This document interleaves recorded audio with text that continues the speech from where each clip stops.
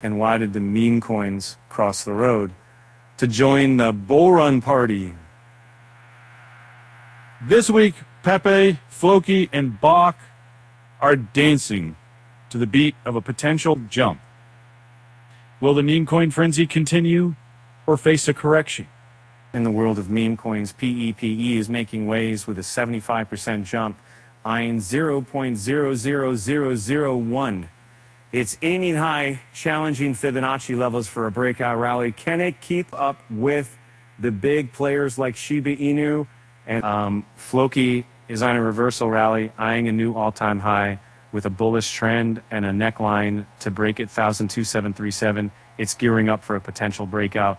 Um, will it ride the wave to new heights? Uh, Bonk is in a rising channel pattern, hinting at a breakout rally with a bullish engulfing candle and a 100% upside potential. It's looking to challenge the 0.00110 mark.